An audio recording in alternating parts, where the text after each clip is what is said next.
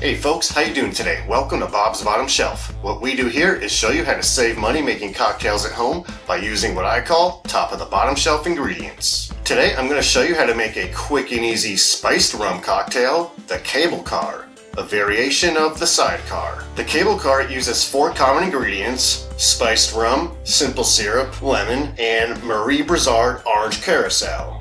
Obviously, this is not Marie Brizard Orange Curacao. This is Classica, the best and only triple sec orange liqueur available at my grocery store. And this is Bacardi Spice Rum. It's actually cheaper than Captain Morgan, and you can pick it up for about $12 from your liquor store or grocery store. Alright, so let's go ahead and make our cable car cocktail. First, we'll do one and a half ounces of spiced rum.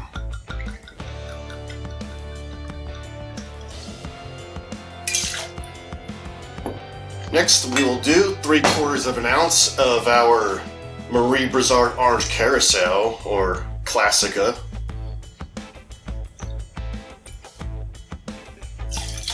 Next, we'll do one ounce of lemon juice. This is actually fresh squeezed lemon juice.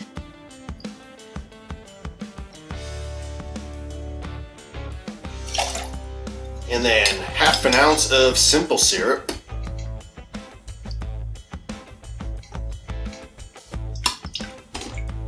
And real quick, before we shake the drink, I'm gonna do a cinnamon sugar rim on our cocktail glass.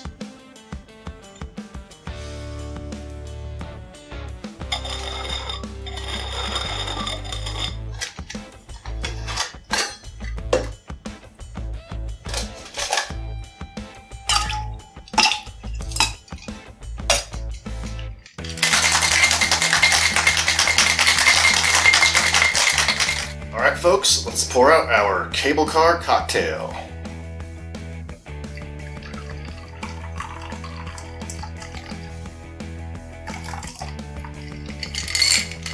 Alright folks, the cable car. Cheers.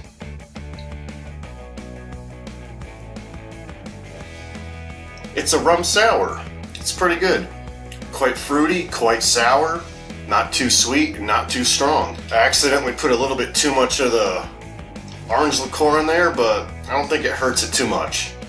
I would recommend the cocktail. Alright folks, that's gonna just about do it for today's episode of Bob's Bottom Shelf. Let me know in the comments which spiced rum you prefer. There's Kraken, Captain Morgan, Bacardi, Sailor Jerry, or maybe you know another one. And subscribe for more episodes of Bob's Bottom Shelf, where you save money making cocktails at home using top of the bottom shelf ingredients.